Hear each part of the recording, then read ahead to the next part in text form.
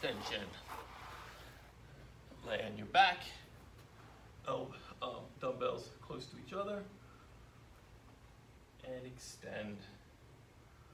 Bring those dumbbells to either side of your head and extend just like that.